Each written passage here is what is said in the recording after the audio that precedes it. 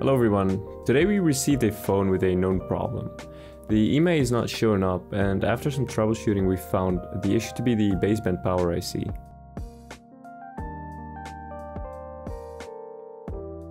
First I start by applying flux to the chip that needs to be removed.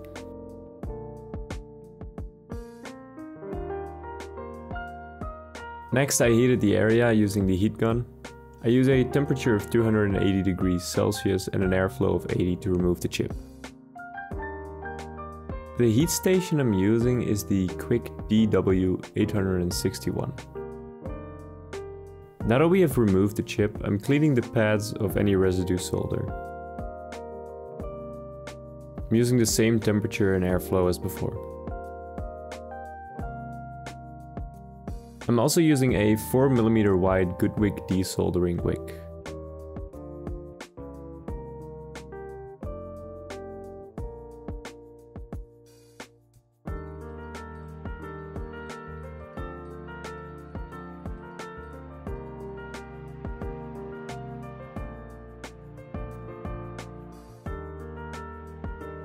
After the pads are nice and shiny, I will clean up the residue flux with a bit of alcohol.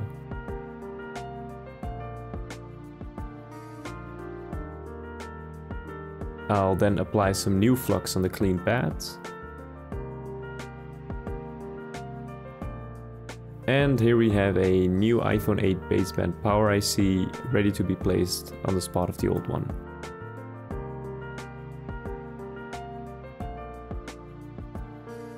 Just cleaning up the chip really quick with a bit of alcohol.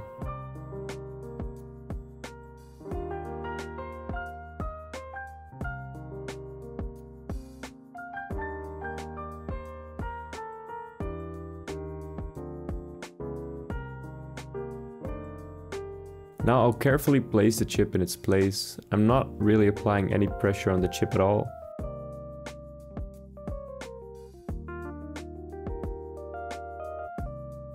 Once it's in its place, I'll use the heat gun to heat up the area and the flux will help the chip to its place.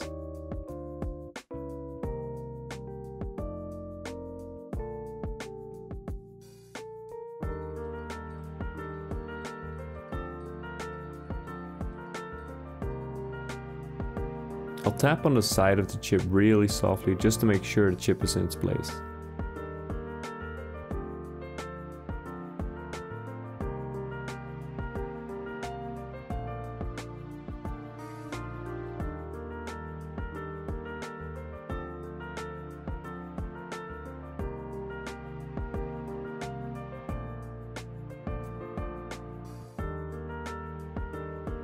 As you can see, the phone now has its IMEI back, which means it's working.